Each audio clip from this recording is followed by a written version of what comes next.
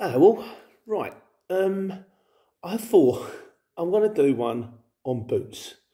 Now, your PPE is important because, well, as courier drivers, it's nowhere near as important as it would be, to say, if you worked on site, because the chances of someone driving over your foot in, um, you know, in a digger is massively reduced when you spend an awful lot of time in the front of a cab. Although, when you jump out, there's fork trucks everywhere. So, and more than that, if you get to, as it happened to my mate Tony, if you turn up on site and the woman turns around and she says, well, she did in his case, uh, those aren't steels, you're not coming in um, you miss your drop and then you might lose the money. Uh, I said to her, I said, what do you have on then? She said, I'm on with Timberlands. I said, well, how did she know? He said, she stood on. So fair enough. So now, the thing is with the boots is it's kind of comfort versus, you know, sort of strong they are. So these are the ones that I have run through since I started. Right, so we started off with these boys. As you can see, they're quite well worn in. These are basically because I always used to wear, um, they're Timberlands, and because I always used to wear the uh, Timberland 9, the 6 inch boot, because I was kind of like them, I used to wear them on the market. These boots have served me very, very well.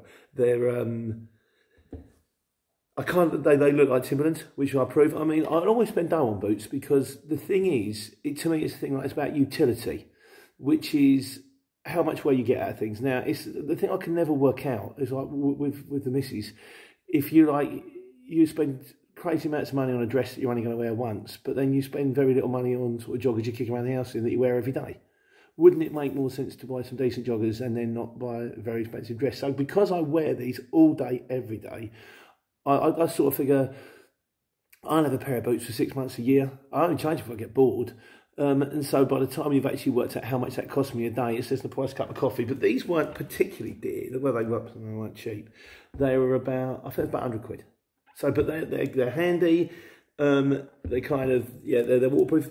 Things I like about them, they're handy. They kind of look, they look all right. They look like the Timberlands. Uh, one thing is they're steels. So they're heavy and they're not always that comfortable on the toes. They're kind of all right when you're driving, but if you've got to drag a pallet down a high street or six pallets down a high street, as I had to once, not the brightest. So anyway, we move from them to, where do you get these guys from? These are hogs. Now, the reason that these are rigger boots. The reason I went for these is um, basically because they're very often honourable. So, you know, they've got the two bits there. And you, well, I originally wanted, there was a pair of Martens out there, which looked really cool, but I couldn't get them for, anywhere for love nor money. So I went for these. I was going to get the Martens riggers. So I, I moved away from lace boots to rigger boots. Um, because, yeah, they're very easy. In the summer, if you want, you can just kick them off in the van. They're very easy. They're easy jump in and out. They're kind of like wellies. The disadvantage is they're kind of like wellies.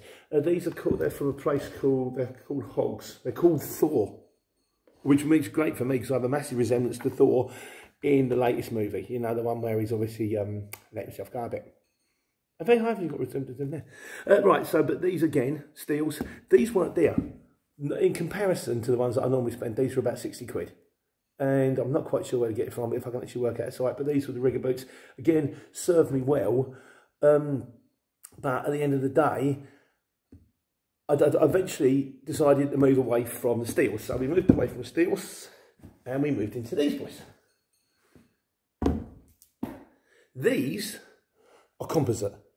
I highly recommend composite. Once you've done it, you'll never go back. The composite thing means that the steel toe cap is not made of steel it's either reinforced plastic or Kevlar or it might have bits of steel running through it, but they are so much more comfortable because um, they're not so heavy.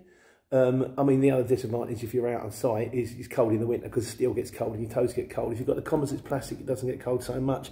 Um, what else do we like about these? They're slightly higher, um, which I'd wear outside my jeans, which meant that my jeans didn't get dirty if I ever actually go on site. And Ignore the laces. They've got this very handy zip up fashion thing. Now, now these were Helly Hansen. They make stuff for boats, I think. Uh, they were about, how much pay for them? Again, about 100 quid, maybe a little bit dearer. And very happy with them to the stage that uh, even when I took them off, as you can see, I polished them. So they're clean. The only disadvantage with them uh, A, like I say, when you do wear them outside your jeans, you don't have to wear them outside your jeans, you kind of do look a bit like you've just got off your motorbike. Um, and the other thing is they're warm. I mean, the, the, fur lining, I'll be honest, looks a bit poncy. When you look at the top, it's like, is he wearing fur boots? Oh, how lovely. Um, but they're not even fur lined. They're kind of fur lined down the side, and then the middle, the bottom bit isn't fur lined, which is very handy because uh, otherwise um, your feet get really warm, I think. But no, they have been great boots, and these are now my current winter boots. But they've currently got retired because we've just taken delivery of these boys. Da, da, da. Now, saw these. These are Timberland Pro. Gone back to laces again, but they're not, you know, they've got the little funny little lock thing on, so you just sort of sweep it around there. Um, I had to get these, these are on Amazon. Uh, these were not cheap.